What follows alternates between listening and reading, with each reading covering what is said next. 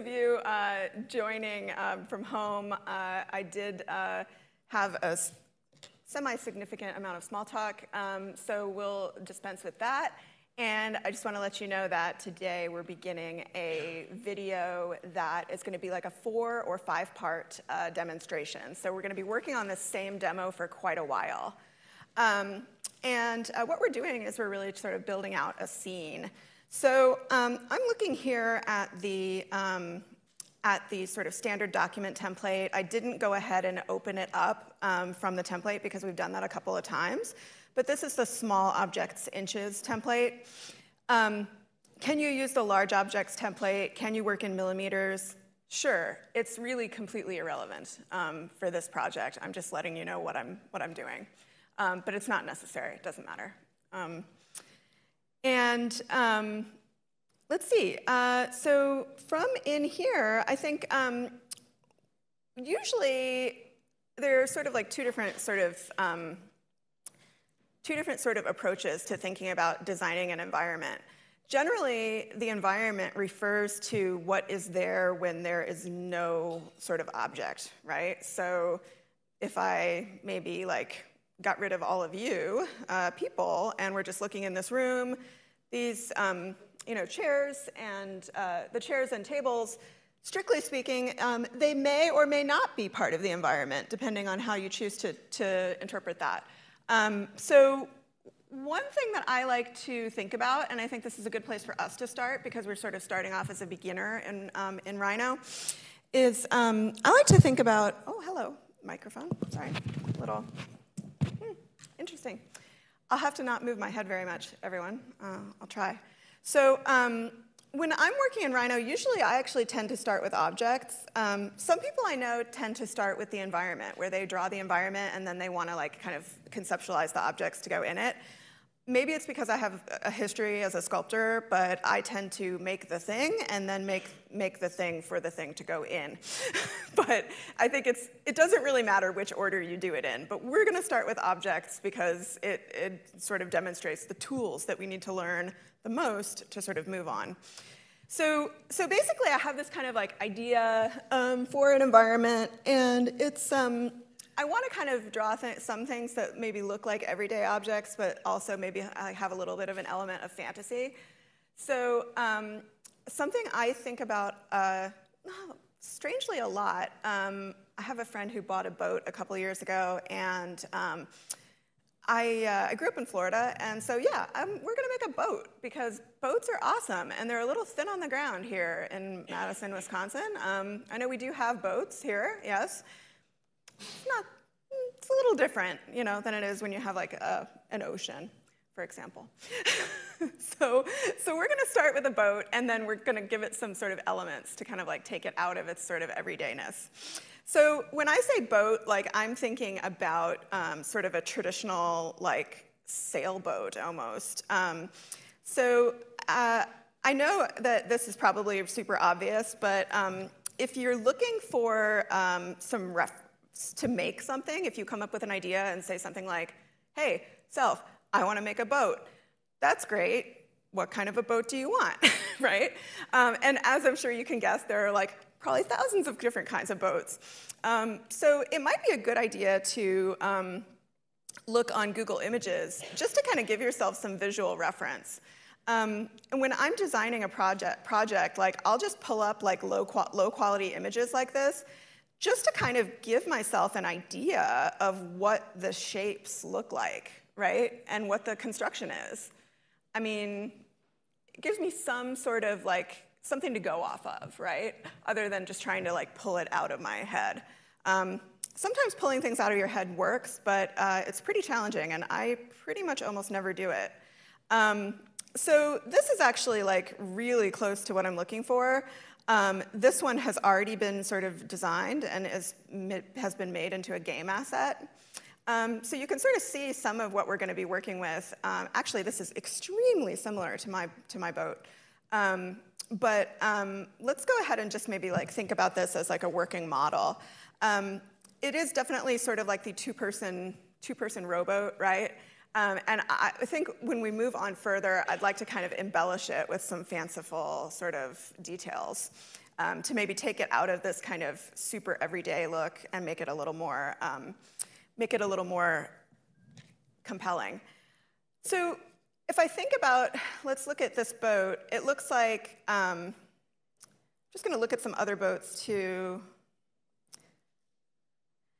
So I think like something like this, you can see basically that there's sort of three shapes here that we have to be concerned with, right? There's the sidewall, each sidewall, there's this back wall, and then there's also this sort of, uh, we can't see it, but we kind of know that it's there. There's this almost like spine running down the bottom of the boat, right? So that's sort of like, if I think about like the fundamental structure, that's sort of what we're looking at. Um, when I'm designing things in 3D, by the way, I find it to be a pretty useful to sort of break it down into smaller shapes. So in other words, like look at something like this boat and just think about like what are the simplest shapes that I can use to describe this. Now, you may be saying, but Meg, I want to make a complicated boat. And I'm like, that's great. You can add in as much complication as you want, but definitely with the sort of 3D design process, thinking of those large, simple shapes will help you create a structure to imp impose detail on later. So, so let's kind of move forward with that.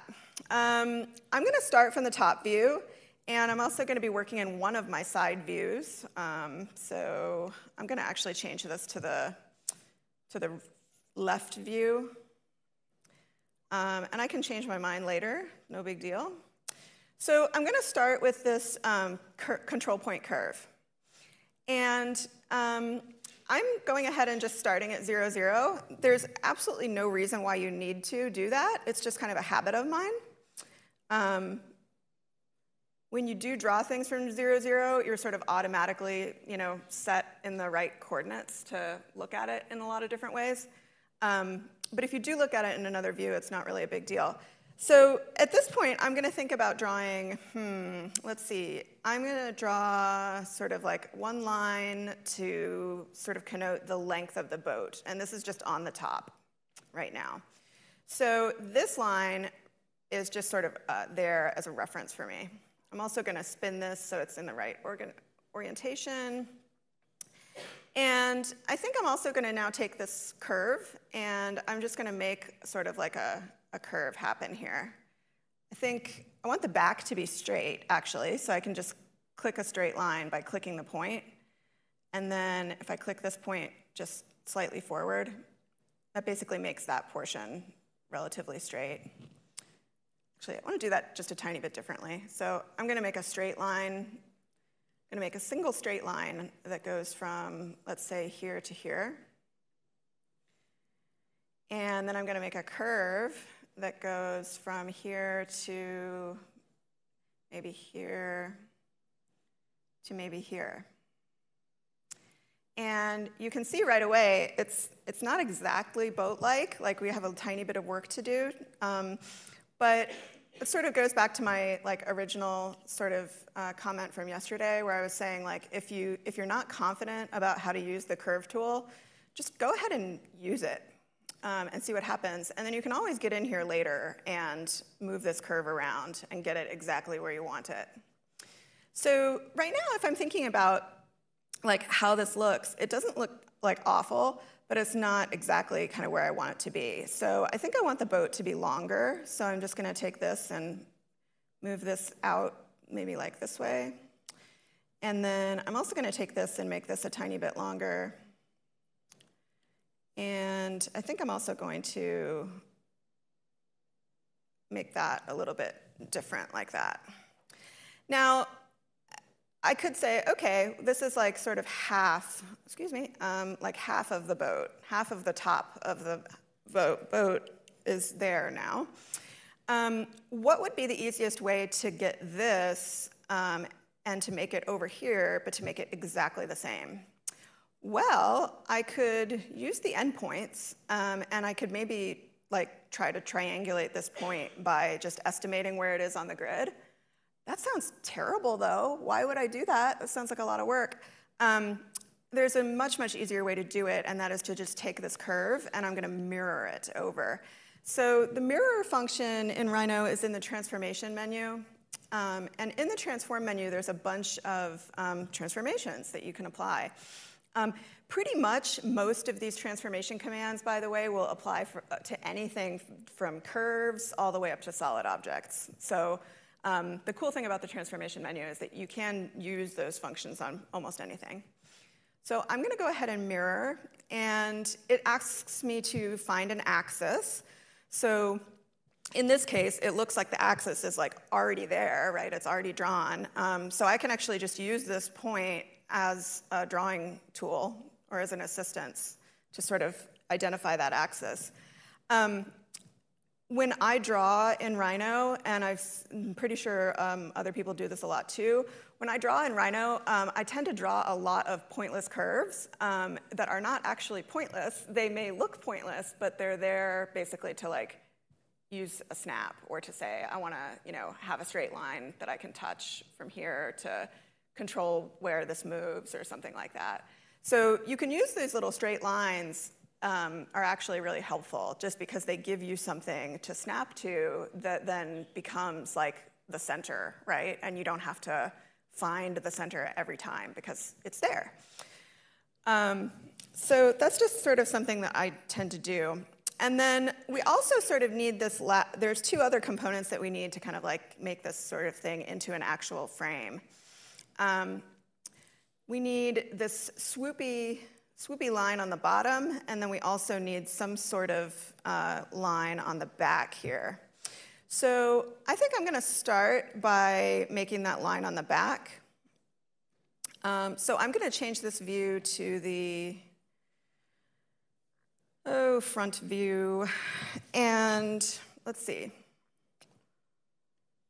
So probably a good way to do it is just with my freeform curve tool. Um, now, I'm being kind of like super careful right now because this is like, uh, you know, a boat. Um, people tend to have this expectation of symmetry, right? Because it's a industrially designed object. So, so if I draw a shape, I have to make sure that it's exactly the same on both sides. So we're just going to kind of address that. So I'm going to make a curvy shape here. And maybe I'll close it. That'll be my last point for that. And then with this, I can go ahead and mirror this again, just to make sure that that curve is 100% identical. So I'm going to use that mirror function again. And here, by the way, in the mirror function, the axis would be right here. So we have this endpoint. And then we also still have um, this. Now, someone who was not only looking at the front viewport may have noticed that that curve kind of went awry. Um, did anyone else notice? I hope everyone probably noticed it besides me. Um, so this curve kind of went awry when I was drawing it. That's a super common problem. I can show you, I can show you how to fix it. So the easy way to fix it would be to just probably start over. Um, I think that um, that might actually be the easiest way to do it. The other way would be to just take these control points and make sure that they align on the same point. Um, when you do that, you're likely to sort of like not get exactly what you want. Um, so probably starting over is the best thing to do. Now, let's think just for a second about how to prevent that from happening again. So it goes back to something I talked about like on day one, I think. Um, so I'm going to go ahead and start drawing my form so I can illustrate what went wrong. So you can see what's happening here. If you look at the other views, my point selection looks awesome in the front view. And I'm just like rocking along. I'm like, hey, hey, this is fine, you know, like everything's cool. But, but no, it's like it's not cool. Obviously, um, it's you know magnetizing to all of these planar views. So, so the thing to do to fix that is there's an adjustment in the um, in your sort of work preferences here. Um, if you click on planar, um, now when we draw this curve, you will see that it should be hello.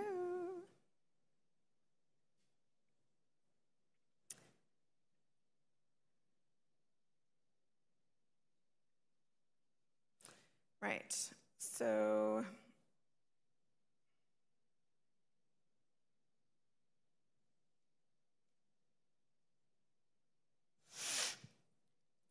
So basically, um, one of the things that is happening now is we have grid snap on, um, and I think it would be really nice if we didn't have grid snap on. And uh, so part of the reason is that the um, grid is just kind of magnetizing. And then the other thing that we're doing a little bit wrong right now is um, we have uh, Smart Track um, and our object snaps enabled. So it actually seems like um, it's not behaving 100% the way it should. Um, usually when you click this box for planar, it will limit it to the planar, to the actual plane that you're sort of um, working on. So um, let's go ahead and just grab this curve point. So basically, I want my O snaps on so that I can grab this point. So I'm going to turn the object snaps on. Those are down here. You can see end is selected. This is an endpoint. It's also near, works just fine too. Um, sometimes with endpoints, there'll be like several different kinds of points in one, so it'll come up with a bunch of those options. I'm gonna go ahead and click this point, and what happens is um, you can see that it's kind of out of, out of plane, basically. It's not planar. Um, so that's actually kind of a slightly interesting problem. Um,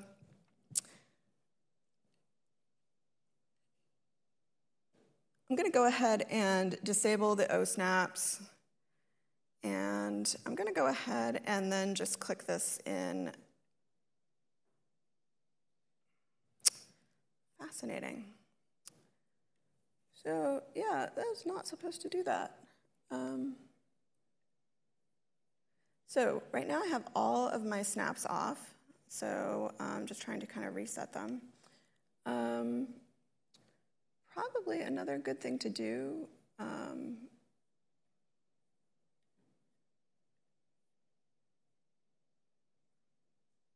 oh,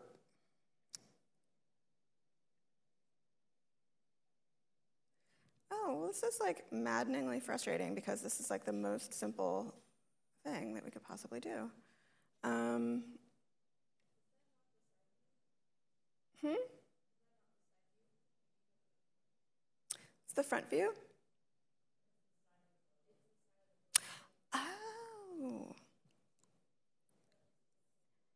Oh, I have things rotated. Yeah, you're totally right. Okay, so then it's my fault. Haha. um, yeah, so that makes total sense. Yay, um, 3D perception is hard.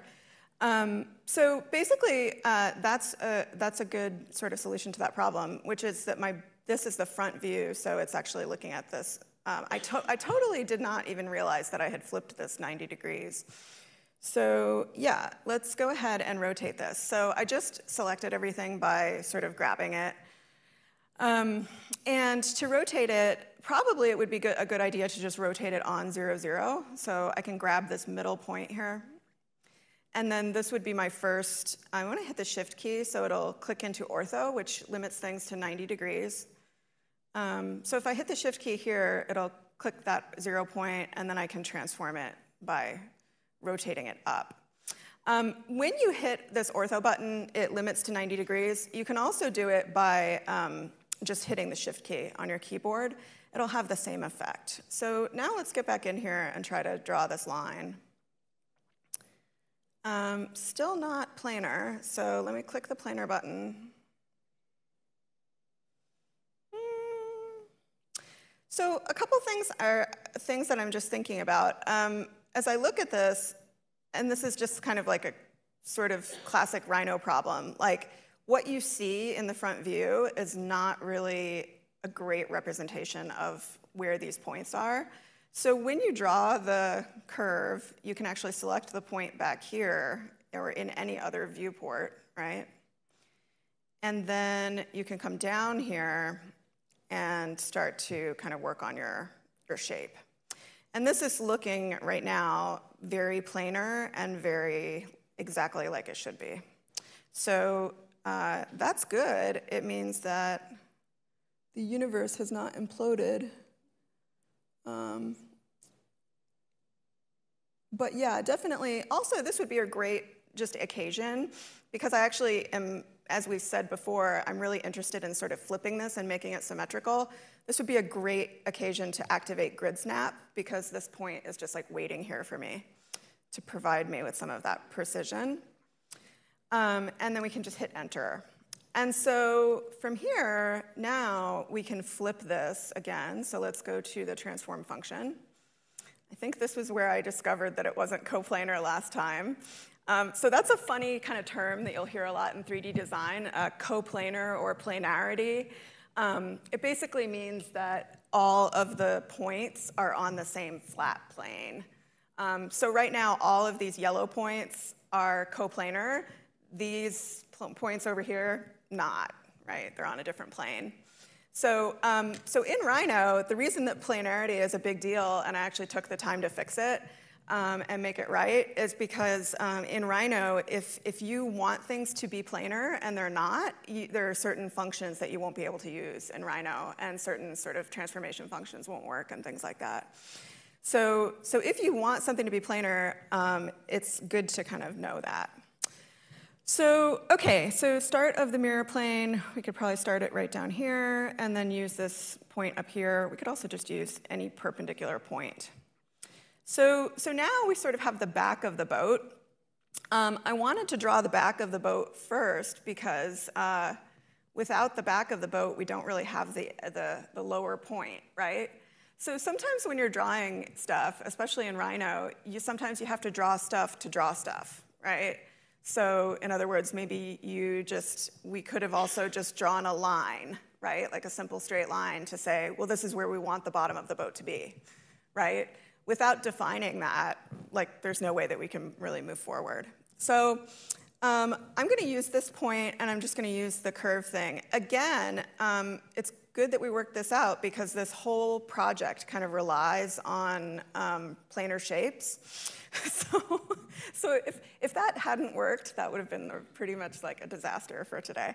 Um, but what we want to do is just go ahead and make a planar shape that is kind of planar from the right view. So here, we can click this point, and then I'm going to go down a little bit to give it some a little bit of a curve, and then I'm going to end it right there. And so this is going to be sort of like our um, the sort of framework of our boat. And at this point, this is a good point to sort of think about maybe there are some design changes that we want to make. So as I'm looking at it, um, it looks weirdly shallow. Um, the boat just looks like it's like maybe not deep enough. So um, there's two changes I would need to make to, to make that happen. I would have to change this back piece, and I'm also going to have to change this sort of undercarriage. So I'm going to start here and just make this a little bit deeper. And then I think I can probably start here and just pull this one down a little bit. Um, I'm going to hit the shift key when I pull this down because I don't want to pull it like any of these places, right? I just want to pull it straight down. So if I hit the shift key, I can activate that ortho thing and get this to go straight down. So I've still got one more thing to do, and that is we've got to extend this bit to kind of make it fit this. Um, and probably there are two different things that we could do here. One is we could go ahead and just join these two lines, and that would effectively make them one single line.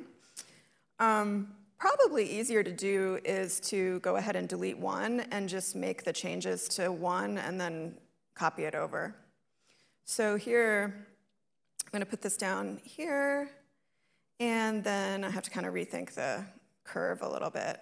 So um, you also might notice that something went slightly awry there. Um, I might have to do a tiny bit of research to find out if there's like a setting that they changed um, that might be uh, sort of shifting it in this phase where it doesn't want to be coplanar. Um, so let me just demonstrate. As I moved this point down, um, I believe that it magnetized uh, kind of over this way. Um, and so that's not really super helpful. Um, what's more helpful is if we can just take this point straight down.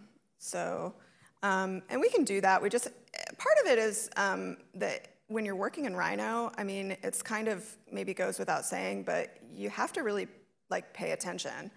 Um, so for example, like if I'm, you know, just like looking at the front view and looking at like at you guys and, you know, I might not just like no notice something on the side. And every time you work in Rhino, you kind of have to be in four places at once, right? Um, so it's, it is a tiny bit maybe like having eyes in the back of your head. Um, so I'm just going to spend some time with this curve and just kind of get it to look a little bit less weird. Um, and so you can see it's um, aligned with the bottom point. Um, of course, you know, it looks like it's not aligned with the bottom point, which is one of the reasons why I find the perspective view to be really useful. And I basically just kind of store it here. Um, and then I kind of just constantly like spin this around just to double check, like, okay, that's touching that. You know, it's not going this way or whatever. So constantly having the perspective view available to sort of check is, is helpful. So pretty much this time we could just take this form and uh, mirror it again. Um, start of plane is here, and then we can just um, accept that. And so let's go ahead and get to the point where we're kind of like refining those surfaces. Now, I said it was a good point for us to make changes to our design. There's not necessarily like a bad point for that or a bad moment for that. Um, we can certainly like make strong changes to this after we make the surfaces.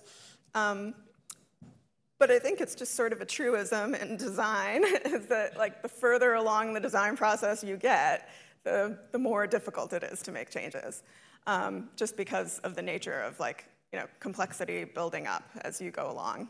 So so here, we've got a few sort of ways that we can make surfaces that we talked about last week, but we're going to talk about um, a couple of those. We might talk about some new ones.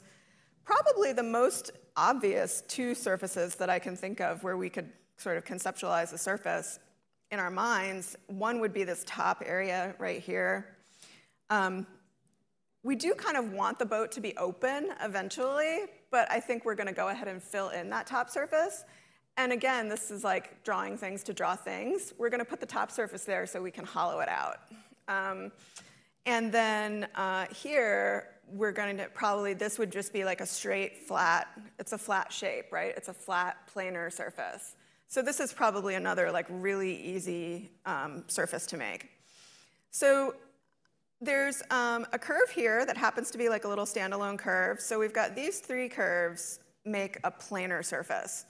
So we can come in here to surface and uh, use the planar curves function. And of course, it's saying no faces were made because I accidentally had one uh, selected. Let's just try that one more time. So then it asks you to select the planar curves to build surfaces. So we can just select these three curves and hit enter. Done. Easy, easy. That's pretty much, I think, like the easiest way to make a surface.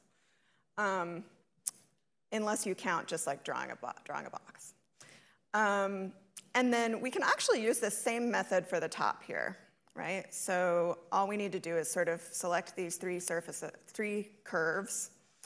Um, I don't think I've had a chance to mention this before, but you may, as you get into drawing objects that are slightly more complex, you may see this Choose Objects menu.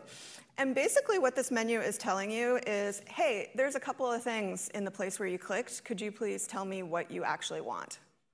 Okay? So, so in this case, it's got a curve. Well, that is what I actually want. And then this surface, which highlights in pink.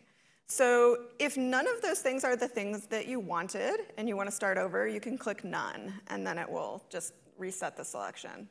So in this case, we're going to select the curve. And now we have pretty much what we need to make a planar curves here. So if I go into uh, planar curves once again, now this time they're already selected, so it just automatically does it for me. Um, pretty much a lot of those, um, a lot of the functions in Rhino, if you have stuff selected and you know that it's what you should have selected, you can just go through the process and it won't prompt you to select things. Um, I actually kind of like selecting things in the surface creation functions because it lets me be a, a little bit more precise. Um, and yeah, so here, now we've got two more surfaces, or one, depending on how you uh, are tracking it. So what we need is, we have the edges of this surface, which are basically these three curves, right? So this surface is going to be a little bit different than the other two that we made, right? So it has some qualities. One, it is not coplanar. It's not all on the same plane. Um, that's not a bad or a good thing. It just, Rhino will treat it differently. Um, the other thing that we sort of have to think about is maybe like, do, you might want to think about this ahead of time a little bit. Do we want the surface to fit exactly um, these curves? Pretty much always the answer is yes. So I'm going to try a method called edge curves.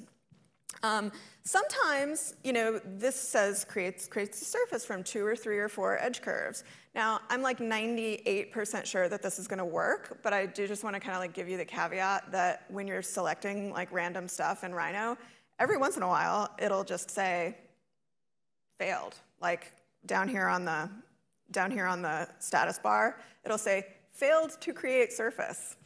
Um, and basically, it might just mean that like there's some mathematical error when your forms come together or something like that. Um, if you do get an error like that, I would double check what you've selected and make sure that what you've selected you know, meets the criteria that the function is asking for. And then if, it's, if you still have problems, that would be a great thing to kind of like email me or the TA about if you have trouble with that. So in this case, I'm fairly confident, um, and we should be able to run an edge curves. And yay, it did work. So, so with edge curves, it's a little bit more of a complex surface. Um, as you can see, it's got you know a lack of flatness, which is kind of awesome. Um, and we could go ahead and sort of like think about this as a part of our boat. Um, probably I think that we could do the exact same thing with this surface as with this. So this is sort of like, I think all roads are going to lead to Rome. We could, um, we could mirror this over here, or we could just create a surface from scratch. Probably exactly the same amount of work. So I'm just going to grab the three curves and then um, once again use that edge curves function. Okay. Awesome. So now we have something that, ah, sorry, y'all, it actually looks a little bit more like a speedboat than a rowboat, but you know, I'm, I'm we're trying. Um, but basically, like, I think it would be nice at this point to like take the boat and actually put some stuff in the boat. Um, we're going to play around with materials and tiling on, you know, put wood on it and everything.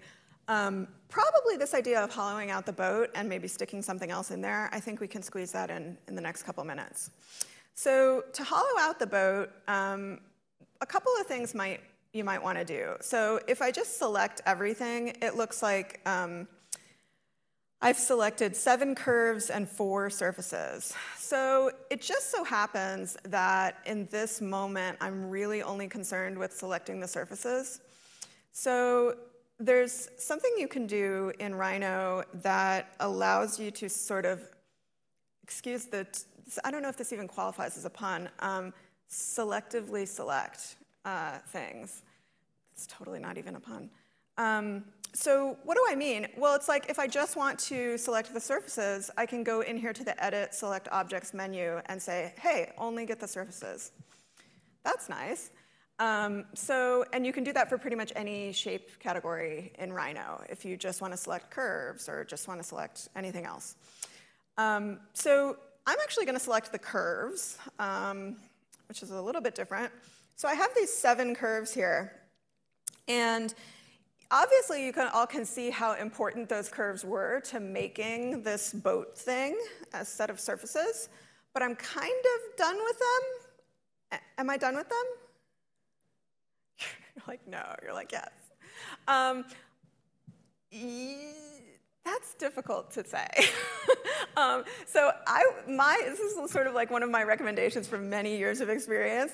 Um, I would save everything um, because if you wanted to make a change to this poly surface or this surface, it would be way easier to actually just mm, change the curves and make it from scratch than it would be to try to modify it, right? Yes. Yes do that. You're like psychic. You are. All right, so yeah, we're gonna do layers. So, so basically Rhino has a layers interface. So right now I have those curves selected, and basically what I do with my, um, I have a layer in all of my Rhino files called CC, and it's just my private code to myself for construction curves. And it's basically like all of the crap that I generate in Rhino that isn't part of the design, but that I might want to save to use later. So if I have these curves selected, I can just go into this layer, um, right click or you know, double tap, and then you can say um, change object layer. And the nice thing about that is that then you can make all that stuff invisible. Um, so right now we're on um, we're on this layer, and it actually looks like it brought my surfaces with me as well. So I'm going to grab these surfaces and just stick them on a different layer. Um, so I think when I did that, I might have had everything selected. So um, again, I want, now I want to take these surfaces and take them off of this layer, so I can say change object layer here. Um, and now, um, if I just sort of um, separate these, um, you can see that I can turn off the, um, that I can turn off those curves pretty easily. Um, so yeah, there's always, some people call it like a trash bin or whatever. I don't, it doesn't matter what you call it, but I do think it's a good idea to save um, some of these curves that you generate because otherwise you kind of have to go all the way back to the drawing board, which is kind of a bummer. Um, so now I basically just keep this layer in here, I keep it invisible, and it, it's just kind of like a repository for all that stuff. So now we're back to these sort of five surfaces, uh, or four surfaces rather. Let me double check. Yeah, four surfaces. And we had said something about trying to hollow this boat out. So definitely um, thinking about hollowing it out, I would say, is uh, good idea. We're going to use the um, shell command for that. So if I use the shell command, it says select faces to remove from closed poly surface. Um, well, definitely I want to remove this sort of covering on the top, this top surface. So, ah, right. So the shell command in this case is asking for a closed poly surface. And when I select this, you may notice that it says it's four surfaces. So that's not really the same thing, right? It's not a closed poly surface. So how do I make it a closed poly surface? That's a great question. Um, you use the essential step of going to the, now let me just say, first of all, when we created this, remember how we took great pains to like make everything line up and make all the snaps work so everything is definitely like touching? Okay, that's, that's thing one that has to happen. Thing two is going up here to the solid menu and saying create solid. Um, oh, unable to create solid. So when it says it's unable to create solid, that is an indication that there's some kind of a gap. Um, and that's a super bummer. Um, so what's a person to do? Well, Unfortunately, that's like one of the worst things that can happen in Rhino. Um, probably what I would do is bring these curves back and um, just take a really close look at everything and make sure that everything is touching. So um, probably, I think that this might take a couple of minutes. Uh, it might take more than two minutes. Um, I'm going to do a visual inspection. It looks like as you can see, it looks like everything's touching. Um, so probably one more time, I'm just going to um, make these uh, surfaces and uh, see if they generate in a different way. You know what? Repeating the same thing twice and expecting different results. I've heard something about that before. Yeah. Okay. So fill that one in, and then let's see. Curve, curve, curve. Um, I'm going to join these before I make that planar surface, just because I can. Not that I think it will have any major effect.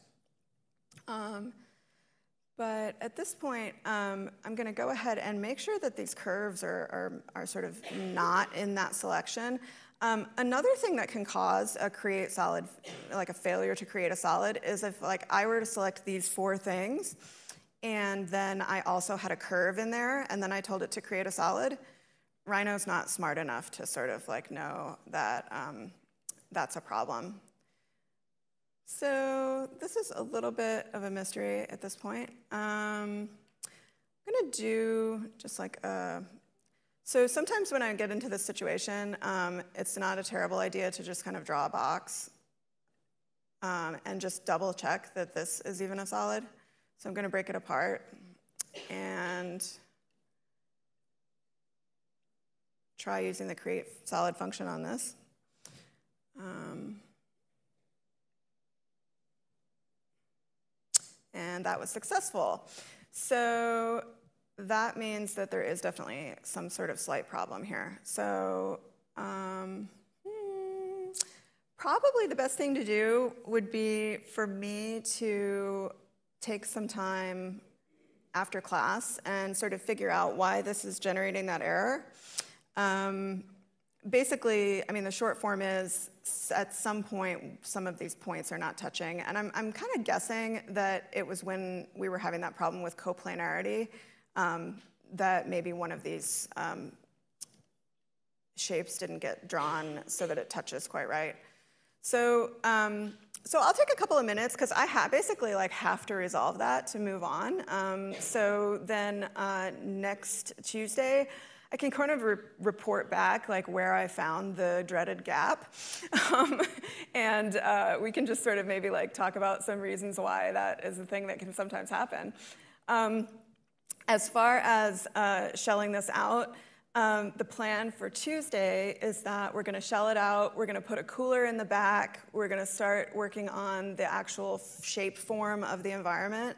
Um, and I was kind of hoping to like make us like a like a sailing, you know, mast for this thing that looks like a narwhal horn. Um, so that's my plan. Um, but yeah, as you can see, Rhino sometimes has other ideas. Um, yeah, I'll see you on Tuesday, and uh, if, I, if I get this figured out, I might even put a little uh, technical addendum video or something up. So uh, have a great weekend, everybody.